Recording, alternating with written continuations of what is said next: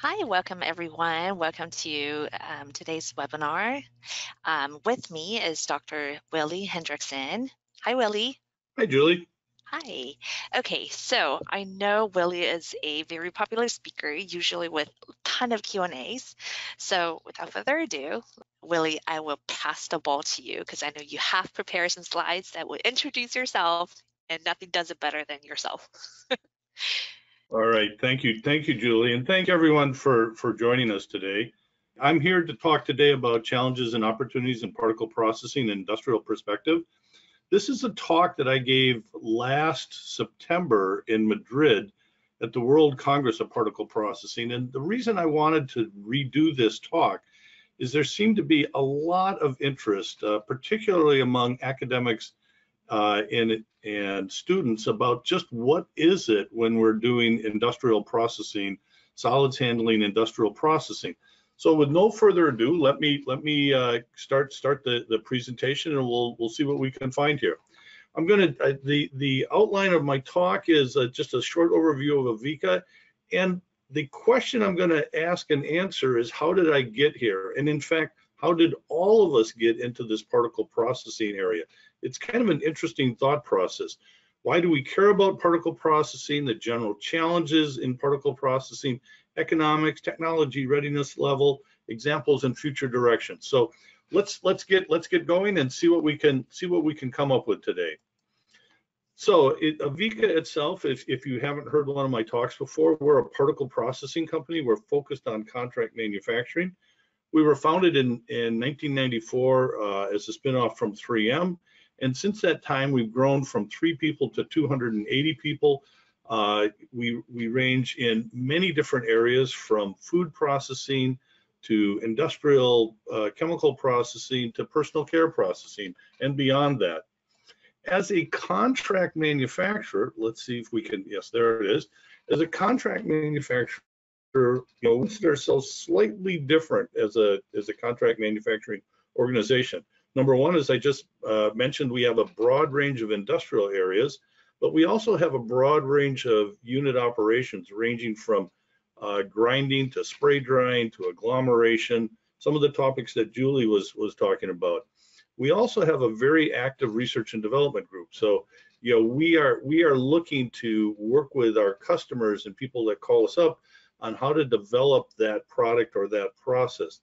And finally, the way that we work is what we call an extreme technical and collaborative business model. It really, uh, you know, in, in this area, there's so many small details that make big differences that if you don't work together closely, and that's going to be part of the topic of my, my talk, and understand what these details are, it just doesn't work for us, you know, we get a lot of inquiries, over 2,000 inquiries a year. We we write up over 600 project proposals every year, and we have 300 customers every year. And the reason I tell you this isn't so much to talk about how big we are or how many things that we do or how small we are, depending on your per, per perspective, but to give you an idea the breadth of what we see. I mean, every inquiry is different, every project proposal is different, and all our customers have you know, just this wide range of interests and needs and everything. So what we end up seeing is a lot of different uh, process areas and, and problems. It, it, makes for a very interesting life. And in fact, as I've as I've said many many times, I have the best job in the world. Listening to all these questions and comments and trying to find a, a an answer to them, for me, it's it's just exciting to be able to do this. The way that we the way that we handle all of this. And one of the reasons that we're here today with, with Horiba is we do an awful lot of particle characterization. And it's my contention that if you're not characterizing something, you don't know what you're doing. So whether it's characterizing it during manufacturing so you can make sure that you're consistent or characterizing, you know, your process, your materials, you know, what are you doing to, to see what, what you what you have? You know, we do a lot of particle size measurement. We do a lot of imaging, whether it's SEM, uh, densities, flow properties, formulation analyses.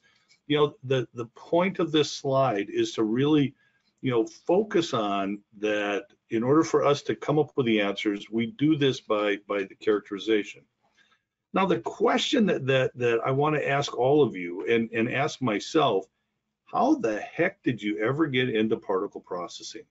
you know, whether you're a student still, you know, deciding that you're going to go into this area, or whether you're a you're a classically classically trained chemical engineer that that you know you were trained in solids or liquids and, and gases, and all of a sudden you find yourself handling solids. Well, I have a I have a, a, story to tell you about how I got to, to here. And you know, as it starts out, I think that we're inculcated with particle processing from the earliest age. So this is this is a, a, a, scan of my life where I started out building sandcastles when I was two years old, maybe even younger than that. When I was five years old, I had the opportunity to work with my uncle on a farm and he wanted to lay some concrete. And so there I was five years old helping him dig up sand out in our sand pit and then mix concrete and pour concrete. Well, that's a particle process. When I was nine years old, I visited a taconite plant, and I'll tell you what that is in just a second. When I was 12, I was back on my uncle's farm uh, grinding up uh, animal feed, grinding up corn. That's not a picture of me, but it, it could have been. That's exactly how, how it worked when I was 14, my parents, you know, made the mistake and bought me a chemistry set, and I didn't care about all the chemistry part. Although I am a chemist, I mean that that's that's what I ended up uh, getting my degree in.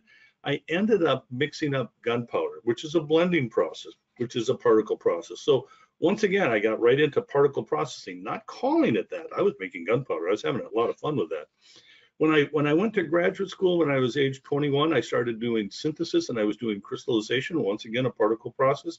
When I started at 3M, one of my first jobs was uh, working on a xerographic process, photocopying, which is a lot of particles. When I was 31, I started baking bread, which is a particle process once again. And finally, when I was 34, I had the, the realization when I became a manager of a particle processing group at 3M that I really had done a lot of particle processing up to this point, although I had never called it that. My suspicion is each one of you also have gone through something similar. And if you tack off your life like this and you look at it, you go, oh my God, I've been doing solids processing my whole life. I just didn't realize it. When I was 35 years old, I joined an organization called IFPRI, the International Fine Particles Research Institute. I'm the president of, of IFPRI when I was 61. And when I was 41, I left 3M and started my own company, AVEKA. So, you know, I can say I've either been in particle processing for the last 37 years since I, I'm 34 years old, or I've been doing particle processing for the last 69 years. I, I guess I guess we can all kind of look at that. So having said that, I got here by a number of, of odd steps, and you know, I suspect that your story once again is going to be similar to that. But you know, why does anybody really care about particle processing? Well, I have four examples here that are so industrially or, or societally impactful that, that they just need to be talked about. In the 1930s, uh, the iron ore industry in Minnesota was running out of high grade ore and they, they started using low grade ore and they beneficiated it. Well, what they found out is that they could make this work. They could actually take that low grade ore and beneficiate it up. So we had went from 40 years of, of uh, proven reserves up to 700 years of proven reserves with the with the taconite but they found out that the only way they could make it work was to agglomerate it and those pellets that you see being held by by that that person those are those are iron ore pellets taconite pellets we we call them those what what happened about this is that you know particle processing allowed us to really expand the amount of iron ore we had but even more important going from a small particle to this agglomerated particle, the Bessemer furnaces, excuse me, the, the blast furnaces that were making the, the iron actually operated five times faster. So not only did we extend our reserves, but particle processing made the steel, the iron and steel industry five times more efficient. Cement manufacturing is probably one of the largest uh, industrial uh, materials that are used in the world. It uses up an incredible amount of energy. And in fact, it's one of the highest energy users in the world. And understanding how they can effectively reduce that energy, and it's a grinding process is, is part of the, the big use of energy, is something that has happened and the energy usage has gone down by 50% because of what particle processing has done. I mentioned xerography earlier. Uh, if you've ever looked at a photocopying machine and seen how it actually works, it is particle processing, solids handling on steroids. From the handling to the charging, to the actual forming of the of the image. Particle processing in there is probably the most amazing uh, particle processing operation that that we're commonly commonly exposed to, and we don't really know too much about it. And finally, I think all of us are, are well aware of you know the impact of COVID, but the impact of particle technology to actually make those liposomes to make the vaccines was was a a tremendous uh, uh, contribution from particle processing. Who cares about particle processing? We all do. Well, having said that, you know, let's just consider the big challenges in particle processing or solids handling. And I've broken this up into two things, operations and technology. From an operations, I want to talk today to you about, and I will in a second, about the economics of particle processing. I also want to talk to you about technology readiness levels and the, the difficulty of going through the valley of death, which I'll explain in a bit. But let's look at the, the technology. As a person uh, in solids handling, the biggest problem I deal with every single day, and you probably do the same thing if, if you're in particle processing, is water. It, you know, if I either have to dry it or remove it or filter it off, those ones, you know, are almost handleable. The one that's very difficult is the fact that we have different amounts of water in the atmosphere and it changes everything. It changes the powder flow. And you look up at the the top left here, you can see the, the picture of the, the uh, uh, chunky powder that was made. That, that happened because of water absorption. You can see the example of the spray dried aluminum sulfate here. That's a nice crystalline structure that when it was exposed to water, it sucked up water in it and degraded. The structure went from a crystalline to almost an amorphous. And you can look at the example of what I call hammer rash. Hammer rash is where anywhere in your plant that the powder doesn't flow through a pipe, the operators in that plant eventually find it, and the way they fix that is they start pounding on that pipe, that that uh, bin, that hopper, uh, to get the powder to move, and you end up with this hammer rash. I'm not sure if there's a plant in the world that doesn't have at least one example of this in their plant. Grinding efficiency is another one, and we're going to talk about all these. So let's get started on, on this first example. And the example is economics. So we're going to talk about spray drying. To the right side of the screen, what I have is a, is a cross section of a small spray dryer. This is a little benchtop spray dryer. It might be two feet high, one foot wide, and one foot deep. Basically, it has a chamber, the heated chamber that we spray liquids into and we dry that liquid and the small droplets that are formed in the atomization process and it, the solids that are in that, that liquid dry and we collect it in a cyclone. Uh, that cyclone you can see over here on, on num number number seven is a cyclone and then the rest of it is collected in a, in a bag house or a filter of some sort. Well, this little teeny spray dryer might do a half a pound or a hundred grams of water an hour. I mean, very small amount of, of liquid goes through that, that, that dryer. You might make a gram of that powder. The reality is from an industrial standpoint, the equipment is a little bit bigger. And you can see at the bottom of this slide, this is the bottom of one of the spray dryers that we have in our, our plants. This is a dryer that is not drying 100 grams of water an hour. This is a this is a dryer that's drying 6,000 pounds of water an hour. In essence, what we have here is you're seeing the bottom of this dryer. If we could look up the, the dryer that goes up 80 feet, it's about 20 feet in diameter, uh, and it's this monstrous piece of equipment that costs anywhere from $6 million up to $80 million to put in one of these dryers. This is an expensive piece of equipment. Now, what we're looking for in this, in order to, to get the, the, you know, to understand how we're going to get value out of this, is, you know, looking at numbers of different process parameters, but we're, you know, two that I'm going to talk about today are the input solids, the solids that are in the, the liquid that we're drying, and the drying rate. How many pounds of water per hour can I dry, or kilograms that I can dry? Typically in a big dryer like this, I'm going to get a 98 to 99% yield. And for me and my my business, I want to make somewhere between five and 700 pounds of water dollars an hour.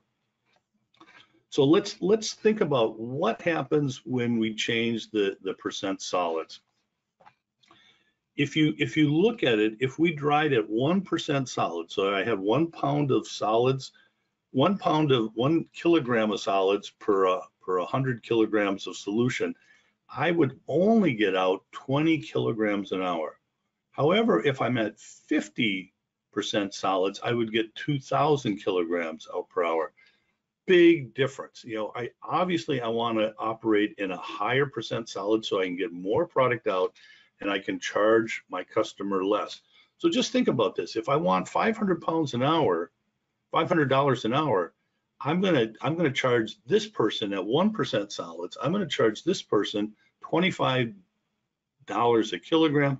But if I'm going up to two thousand kilograms an hour, and I want five hundred dollars, I might only charge them twenty five cents. Big difference. But let's look at you know you know that, that big difference. You can easily see that. But in when we're doing industrial processing, we're actually looking at much smaller differences. So on this slide, I'm looking at what happens if we have 20% solids and it varies between 19 and 20% solids. Let's talk about the operational time that, that we're actually running at. And let's assume that we have a 2000 kilogram per water, water evaporation rate dryer. So let's just look at 20% solids. If I have 20% solids, I can manufacture 500 kilograms of product kilograms of product per hour. If I actually am operating my dryer 80% of the time, I can make 3.5 million kilograms, 90%, 3.5, 3.9, and 4.2 kilograms, depending on whether it's 80, 90, or 95% solid uptime, excuse me. Now, you know, so why would why would we have more uptime or less uptime? The, the reality in an industrial dryer, we want to turn the dryer on and we want to run it all the time. Realistically, 95% means it's all the time because there's always time that you have to take the dryer down to clean it, to fix something, to, to do what it is. So if you can get 95% uptime on your dryer, you're doing very, very well. If you're running 90% of the time during a during a month, that means that you're down six days a month. That's probably one or two cleanups because it takes two to three days to clean up a dryer as big as I'm talking about. If you're 80%, you're down um, three days for the 90% and and uh, six days for the uh, 80%. So you might be down twice on 80% to clean it up and once once a month to, on, on 90%. Now, if we actually look at this, if I just change from 20 to 19%, I go down to 469 kilograms per hour, or if I go up to 21, I go up to 400, 532. Well, it doesn't seem like that much for for uh, you know 31 kilograms an hour, but when you multiply this by the number of hours, look at the difference. At 19% solids and 80% uptime, I'm at a 3.3 million kilograms per year, and at 95% and 21% solids, I'm at 4.4. I typically get a dollar a kilogram or even more for something like this. So if we just use a dollar a kilogram, being at 21% versus 19 and having my dryer operate more efficiently longer, I can make $1.2 million. Small, small changes make big differences in the economics of, of your of your dryer process. The, the other thing that, that can happen is your dryer might operate at different water evaporation rates. And this can happen because of the moisture in the air, your evaporation rate goes down. This can happen because you raise the temperature up a little bit more, so you might get a higher evaporation rate. This might happen because you have a hole in the dryer and this negative uh, pressure in your dryer is drawing cold air into your dryer, which is slowing your dryer down. So by going from, once again, 19% solids to 21% solids, just by by having uh, higher higher th uh, higher throughput rates, you can you can go from this 446 kilograms an hour to 558. That's over hundred dollars an hour just by by operating just a slightly faster dryer evaporation rate. There's another aspect that I that I want you to consider about this from an economic standpoint. I told you that the dryer rate is usually 98%. And it is. I mean, you, on a big dryer, 98%, 99% is a very reasonable. So the actual output is not 500 kilograms an hour, but 490 kilograms an hour at 98%. However, there, here's the here's the, the, the dirty little secret when we talk about uh, yields in a dryer. In a dryer, you know, 8% water retained is not an unusual amount. And in fact, I want to retain as much water as I can. So theoretically, I should be getting out 543 kilograms an hour, but I'm only getting out 490. What happened to the other 53 kilograms? What, where did this stuff go? Well, I've shown over here a dust storm, and and some of it is we we our dryers don't look like this. In fact, nobody's dryer looks like this but we do lose some of the particles out the stack. You know, the, the cyclones and the filters aren't perfect. And so there's some loss there, and I would say that that's probably around 30 kilograms an hour. So, you know, of the 53, I, I probably have 30 going out the stack in one way or the other. We have it, we have it collected in some secondary collection areas that we can't use, uh, but some of it just actually is is released, and there's parameters that you have to abide by.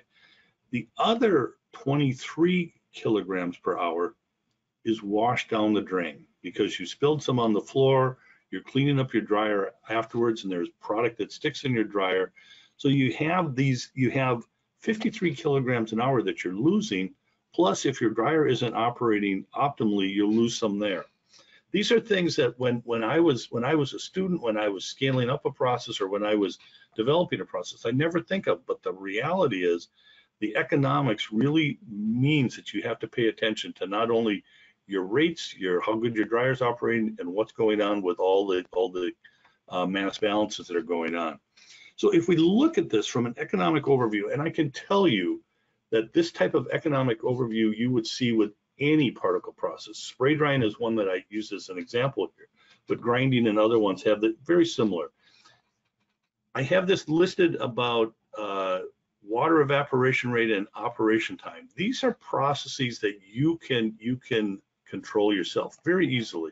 What happens to the relative humidity of the air coming in? You can you can modify that.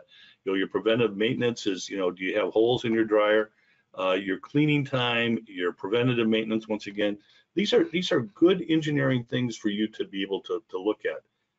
The ones in the red, the percent solids, if my viscosity goes up too high, I can't spray dry it. If my yields are, are poor because I have wall sticking, which means that you know the powder flow isn't right, you know these are these are some technical you know academic challenges that we struggle with. The way that most of us figure this out and get the best out of our dryers is we know some tricks. And and in whatever solids processing that you're going, knowing the tricks is one of the most important things that you can actually do. So here I have I have two pictures. I have a picture of Carl Friedrich Gauss, a 19th century mathematician, a very famous mathematician, and I have a picture of my three grandchildren. They all of them know the same trick. The story goes, and and you know there's there's some there's some license to how this story actually happened, but the story goes that when Carl Friedrich Gauss was a uh, child or a, in grade school, he was a math prodigy even then, and he was always bugging his teacher for you know a new problem. You know, give me something I can do. And finally, one day, the, the teacher got gets tired of this and says, "Well, here, why don't you go and add up all the numbers from one to a thousand, and when you're done with that, come back to me." the math teacher, the professor, the, the teacher absolutely is convinced that he's got a couple hours to himself and you know who knows if he'll even get the, the, the answer right. Carl Friedrich Gauss came back in 30 seconds and had the answer. When you add up the numbers from one to a thousand, the answer is 500,500. Carl Friedrich Gauss figured out a trick that he used that I've taught Oren, Nora, and Lena who are now 16, 14, and 10 to be able to do the same thing. And in fact, they can add up all the numbers from one to a million in the same 30 seconds. knowing that trick, and I won't tell you the trick, I'll let you go and look it up. It's it's an amazing, it's amazing mathematical trick, and you can use it for a lot of lot of interesting things. But knowing that trick and knowing the tricks that you can apply to particle processing can help you make your dryers, your grinders, your agglomerators operate better. So let me give you a couple examples of some of the tricks that I use. Uh, the, down in the lower right corner is a picture of a heat exchanger. One of the ways that we get higher percent solids to our dryer is we heat up the liquid so it has lower viscosity. And so instead of putting the, the liquid in at room temperature or even elevated temperature, we pressurize it and we send it to the dryer at 120 degrees C above the boiling point, but it's under pressure. So we can actually get lower viscosity, higher, higher throughput through our dryer just by doing that simple trick. Another trick that we've used is, you know, what is the construction of Kiwi shoe polish? And I'm, I'm showing here with the, the person with the black uh, shoe polish that he's about to polish polish their shoes. It turns out, you know, when you ask somebody what does what makes up Kiwi shoe polish, they go, well, it's made up of wax. Well, it's not quite that. It turns out there is some wax in there, but Kiwi shoe polish is 90% kerosene and 10% wax. When you put the wax into the kerosene, it doesn't do anything until you heat it up, melt the wax, the wax dissolves in the kerosene, and when you cool it down, the wax precipitates out and changes that kerosene from a very flowable liquid to a paste. This is what's called an organogelation uh, system. It's a trick that we use here to handle the viscosity, change the viscosity thermally change the viscosity by doing um, by doing this addition of these materials into organic liquids. So we can change the viscosity and people do this in a regular basis for just about all kinds of creams and gels and waxes and the grease in your car and gelled candles and napalm. These are all the same type of trick. If you know this, you can use this. I'll give you another example. Uh, I have a picture here of two candles, one that's burning and one that's just been put out and we've all seen this. We've seen the the uh, the candle that that's burning brightly, and you can see some soot coming off of there. Uh, that soot is nanoparticulate carbon black or or uh, yeah, carbon carbon black. Uh, this is something that people have used for for uh, thousands of years to make lamp black. This is how you make lamp black. Or what's going on when you put the candle out? Notice there's there's a a, uh, a smoke coming off of it. This is slightly different smoke. If you understand what this is, you're not making carbon black on the second one. What you're actually making is nanoparticulate wax. And what happens, the way a candle actually works is the wick is used to uh, transport the liquid wax up to the flame, which then burns by first vaporizing the wax and then burning. When you when you blow out the the the uh, the flame, the wick is still warm enough to vaporize the wax and now it condenses and forms nanoparticles. In one one system here, the trick is is knowing that you can get lamp black out of it. In another way is if you can just heat it up but not burn it, you can actually make nanoparticulate wax particles. Why do we really want to know this? Why do we want to know these tricks? Because the challenge in industry is to take this process, this process that you develop in the lab and get it up to manufacturing. In the early, in the late uh, 60s, there's some people at NASA that were looking at when is the technology ready to fly on a on a on a space shuttle rocket, uh, launch to the moon, whatever. And they came up with this level that said this is this is this is as you see here is what happens when you're developing something. You first start with a basic concept, you go to some lab and bench testing, and finally you go through some field tests and commercialization. These are the technology readiness levels.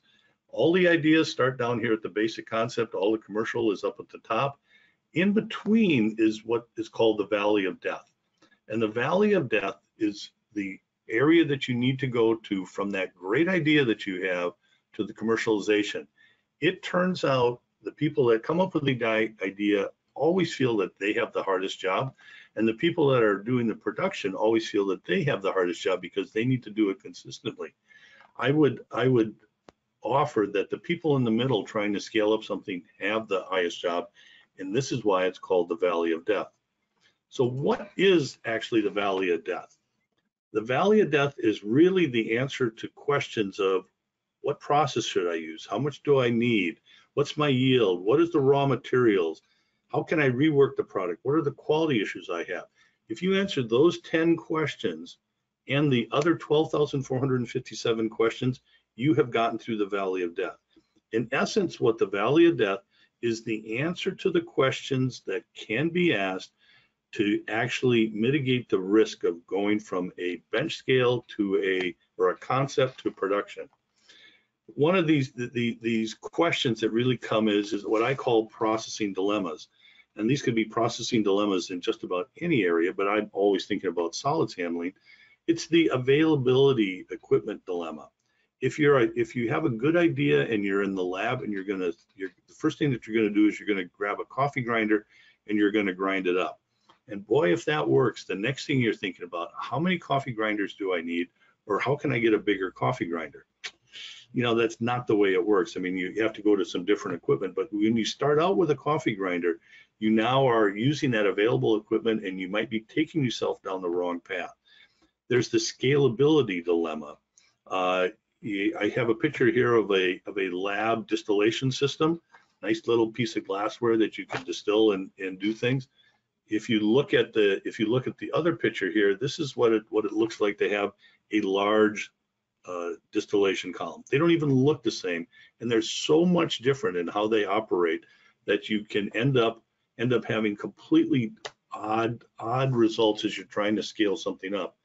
People typically forget about mass balances when they're when they're uh, you know coming up with an idea, and optimization. You know who even who even knows about that, but that is what the valley of the valley of death actually is. Come on, let's get to the next one.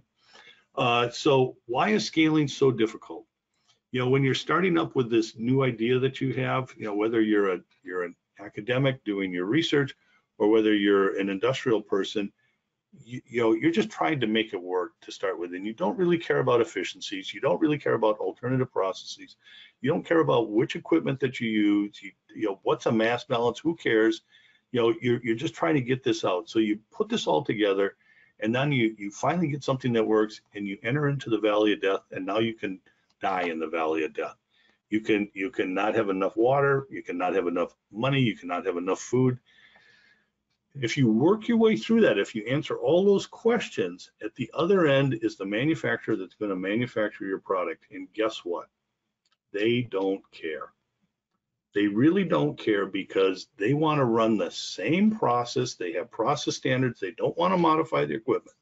They have operators that are already trained. So if you have exactly the product that uses exactly their equipment, uses the same procedures, uses the same operations, has the same safety, they might like it. But if there's anything different about it, all that work that you went to, you have to find somebody that's willing to take a risk. So you need to mitigate that risk and get to a spot. So going through all of this, you know, this this idea of economy and and uh, uh, scaling up, these are the problems that all of us are facing in industrial solids handling, and they're incredibly difficult problems. So I have four examples here for you today. I've listed six, but we're only going to talk about four. Uh, we're gonna we're gonna what we're gonna do is we're gonna talk about what is it that was needed how did we approach the problem? What went right or wrong? And what are the opportunities for better understanding in this solids handling area? So the first one is I'm just going to talk about blending. It's got to be the easiest thing in the whole world, right? You're just going to blend something, and I'm not even going to blend two solids here.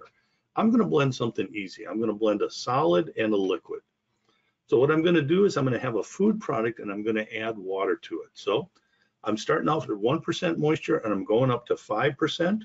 That's a good place to be because if you go too high in moisture, you can get to a spot where microbial growth can happen. The reason that we dry lots of food products is to, you know, stop the microbial growth. So I'm going to use something, I've got a small particle, it's, you know, 75 microns in size.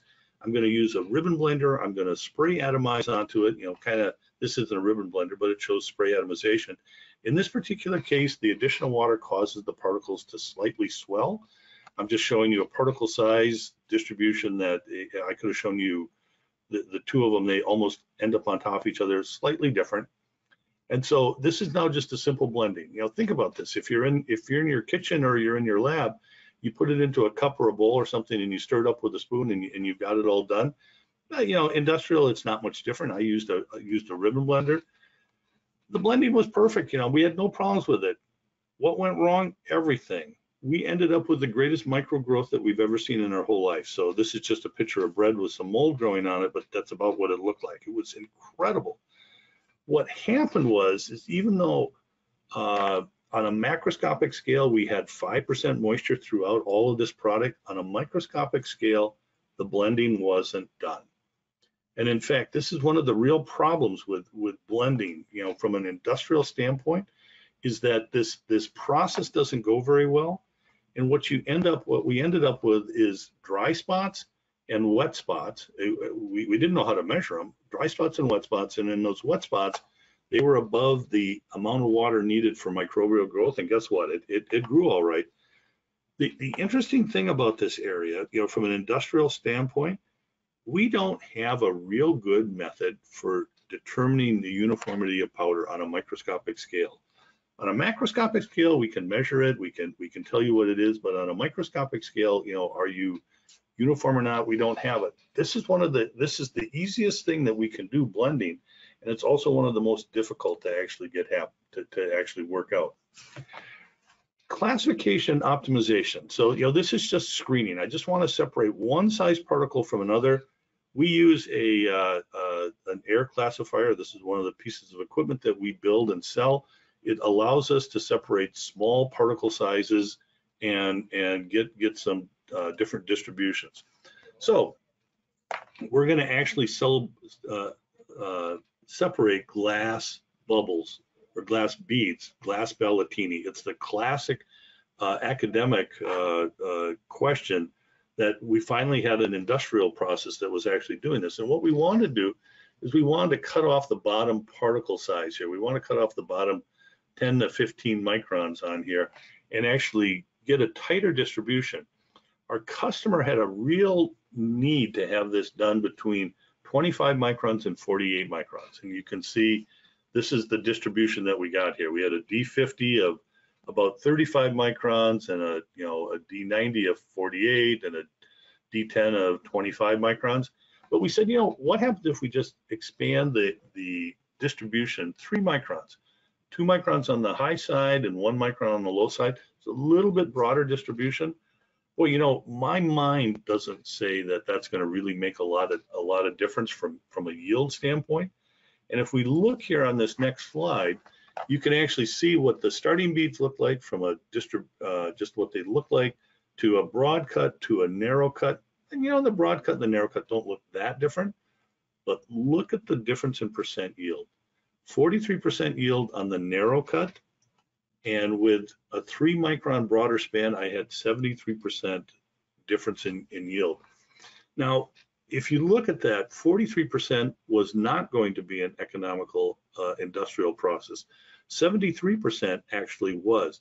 And so pushing that boundaries and not just listening to what our customer asked for, but saying, you know, let's take a, let's look at some, we looked at a number of different ranges, but this one was, was really, was really great one to get that higher yield. Now the question really comes in here is the this there are no models for for separation efficiency. There, there none none exist, and so you basically have to look at it every time. I have two more examples, and you know I, am going to try to get done so Julie has time for for my questions. Uh, grinding optimization. You know, lots of grinding is done in the world. It's an incredibly energy inefficient process two to 40% of the energy that you use to crush something, to grind something, actually goes into particle breakage. The rest is moving stuff around and it's wasted in many other ways. We had a step, we had a process that somebody wanted to grind a ceramic and, and tighten the distribution uh, or, or, go from uh, a big distribution to uh, a tighter distribution uh, as time went on. What we found and, and what everybody finds out is that grinding in steps, we went from a crushing step to a, a, hammer milling step to a ball milling step. We could actually tighten up the distribution as time went on. This is a, uh, pieces of what our, what our equipment looks like. Our crushers on the left here, uh, and over on the side here, and the, the grinder is the, the blue the blue spot here. Uh, and then we have some ball mills uh, put in here. So we, we set the system up to do this. And the results we got were shown here. So we're, starting out with big ceramic parts, different sizes. And in 2003, when we started this, we had a D50 of 15 to 35 microns, and we were crushing and ball milling. As the needs from our customer got to be tighter, we found out that hammer milling and ball milling was, was better. By 2013, we, we still needed a tighter distribution. And so now we had the three steps, the crushing, the hammer milling, and the ball milling. And it took a long time to get to these things. I mean, just because it, it seems easy here, it was not, not, not easy to get to. What we added in 2015, you know, this was 12 years later, we've added a grinding aid and grinding aids are liquids that improve the grinding, the breakage efficiency. We were actually able to get a tighter distribution and we're also able to get a, a faster grind. So instead of taking an hour, it took us 20 minutes to get this same grind to, to get down to this tighter distribution. The interesting thing about all this is, is that we increased the energy usage. If we, we cut our time by a third, we, we tripled the energy efficiency. So we went from about 3% to 10% this idea of grinding aids to improve your process is one of these tricks that, that, that we use and one of them that we should always be looking at. But once again, you know, point out that small changes here made big differences in the final, the final uh, economics of the whole system. The last example I'm going to use, uh, going to talk about in the next three minutes, is making monodisperse beads. We, we use a process called prilling where we atomize a liquid like a wax, a melted wax, and let it fall down very much like a spray drying process, but instead of evaporating, it's freezing. Now, if we wanted to make a one millimeter bead, I can do this in about 20 feet. I can drop it for 20 feet and it can get cool enough. When I get to a four millimeter bead, I need about 100 feet to drop this to get it cold enough so it's a hard bead and not still soft. The problem is, is I don't have a 100 foot tower, nor do I have a 100 foot building to drop this in. So I had to figure out, we had to figure out how to how to do this. And what we did is we changed from a atomization into air to an atomization into water. Water has a higher heat capacity, and we were able to shorten our 100 foot tower down to a foot, a foot and a half maybe. And so schematically, instead of dropping it from the top and letting it fall down, we actually atomized underwater and allowed it to rise from hot water to cold water. This allowed us to keep the, the nozzle working and freeze the bead as it got to the top. This is this is the beads that we actually saw uh, that we obtained. This is what the the process looks like. I, I'm not going to run the, the video today, uh, but you know you'd actually see these beads rise up and then uh, be collected up at the top uh, but what we what we end up is getting beads that look like this, but it didn't quite work. You know, so you know, really a, a smart move. You know, taking that hundred foot tower down to a foot and a half, or down to yeah about a foot and a half. But you know what happened was is we actually entrained water. So you can see these small holes in here, and our customer couldn't abide by the water.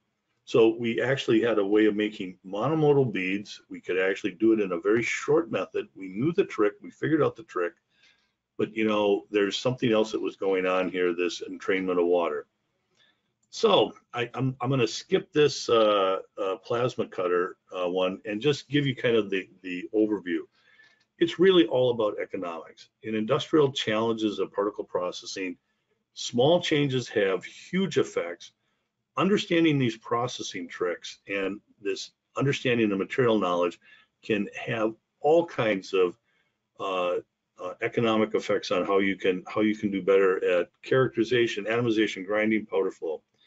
If you really want to get an idea of how tough it is to uh, start up a solids processing plant, uh, please read the article by Ed Merrow. He published this in 1988 and it's still germane.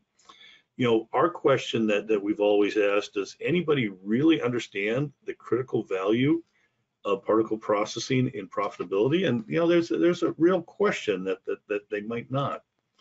You know, where can you actually find information on this? You know, go to the World Congress next time. It'll be in uh, Japan next year. You know, the, the AICHE Particle Technology Forum, equipment vendors and, and modeling vendors have lots of information for you. Uh, as I said earlier, I'm the president of the International Fine Particle Research Institute. Uh, we've commissioned a new Merrow report. Uh, we've got it in our hand and it, you know, confirms that it's still very difficult to do it. But, you know, the International Fine Particles Research is a consortium of industrial companies that bring together practitioners to really help talk about uh, the way to come up with the best answers. In summary, if you're a particle processing person, it's the best place in the whole world to be. It's exciting, it's difficult. Uh, but there's there's opportunities all over the place, both in industrial and academia. If you really want to, you know, to to make the best of, of being in this career, reach out to others for help. And Julie, with that, I think I'm done. Well, thank you so much, Willie, for your excellent talk. So we will enter into our Q&A session. So the question that came in is, how do I reduce sample bias for non-cohesive or segregating powders? Wow. You know, sampling bias is always is always a challenge, right? It's loaded. yeah. yeah, you know, I, I, I could, I, you know, let me give a whole nother talk now on on that. But you know, that if you're really worried about sampling bias, uh, people use Riffler, uh, Rifflers, Rifflers, uh, you know, separation uh, systems that will actually automatically separate your sample, and that's always a good idea. And you do it two or three times, and you can get a, a good a good uh, sample.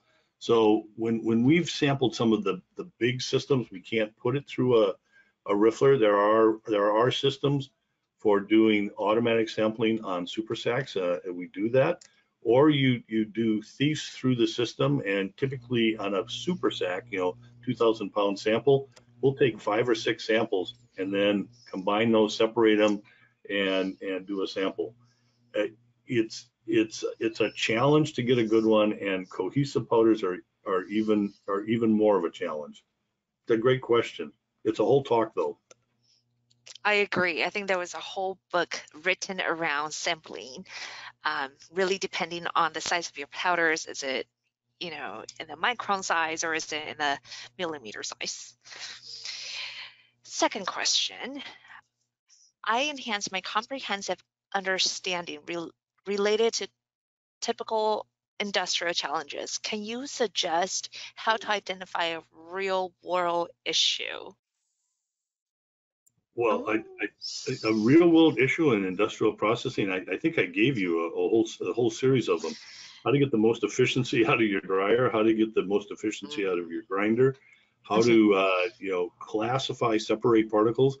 I, I, could give you some you know examples on you know how to how to optimize either particle coating or or agglomeration. Uh, you know every single one of those problems and blending. Oh my God, you know there's a, a thousand questions in blending. Uh, you you do blending and you know you blend perfectly and then you blend a little bit longer and it resegregates I mean, mm. you know, all of these are, are great problems uh, for, from an industrial standpoint. If the person that's asking the question would like a longer answer and you know maybe talk about this, I, I you know, please send me an email. I'd, I'd love to love to have that discussion. The next question is concerning powder mixing and homogeneity. Is it better to use a batch mixer or a continuous mixer? Yes. You know, you know that's that that is a great question. That was a facetious answer. I'm sorry. Uh, I have seen, you know, the the the right answer to be either one. Uh, I I I know that in a, in in big volume industrial, they, they never can do batches because they're talking about millions of pounds of, of doing stuff. So they have to be continuous. And you know and they work. You know if everything lines out you know you can actually you can actually get that to work. Uh, the pharmaceutical industry until just recently has really focused on batch processing. Uh, they now are going to continuous processing uh, but you know there's a, a lot of challenges the startup and stop and you know small changes in your your configuration can dramatically change how efficient your blending homogeneity is. So, you know, the, the, the right answer is yes, they both work. They, yes, they're, they're both the best. Uh, and the specific answer to that a specific problem is, you know, please give me that, give me that answer and I'll, I'll give you my best guess on, on what it is. But I've seen it better both ways and I've seen it, I've seen some problems that they just seem to be intractable, no matter which way you, way you try to blend it. I hope that answers the question. Um, the next question is, what is the most effective way to separate 1 to 10 micron particles from 1 to 100 micron particles in a liquid media? In a liquid media, wow. Uh, so you know, there, there's there's three ways that that that I would approach this.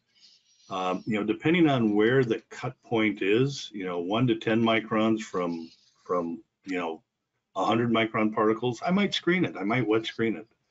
Uh, you know, but if I'm really trying to separate 10 micron particles from 20 micron particles, that yeah, that's I'm not going to screen that. I'm either going to do use a hydrocyclone mm-hmm. as a as a wet method for for separating particles. It's it's a it's a statistical separation where you're the bigger particles are thrown to the outside, the little particles will stay in the middle, and you separate those two fractions of the water.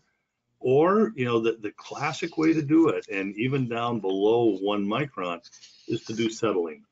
So in the in the abrasive industry, people separate different grit sizes of abrasive by putting them in pools and letting it separate, and then uh, taking off the top fraction that's going to have the smaller particles, and the bottom fraction going to have your big particles.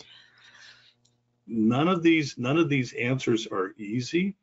Um, it, but you know, separation at those sizes is always difficult. You know, even if it's dry, it's difficult. But wet, you know, you you you at least you have the settling, you have the hydrocyclones, and you have screens, just depending on the material that you're looking at. Good question. Thank you. So hydrocyclone, wet sieving, or settling for those that are one micron or smaller. Or, or even you can you can separate even above that, but you can separate down to less than a micron with settling. Perfect, thank you. Um, how varying a moisture affects powders and what can be done when you can't vary the moisture? Wow, you know, so so I you know I I kind of I kind of indicated that moisture will will change the the flowability and it does, and you know from there just comes one problem after another. If you can't control the flowability? How do you get it out of the bin? How do you get it out of the bag? How do you, how does it feed properly? The mm-hmm. the challenge that that that one has, you know, if your if your issue uh, is you can't modify the, the the percent moisture, people typically will do one of two things. They will either add a flow aid, which is something like fumed silica into a system.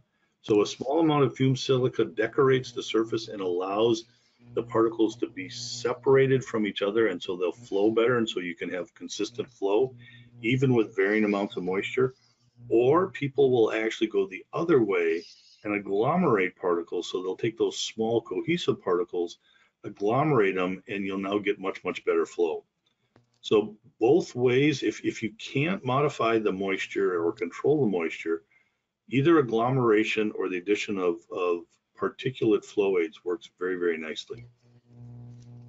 By the way, fume silica is an all-time favorite of Dr. Mike Pohl here at Particle Characterization Lab. it's, it's, it's, it's magic.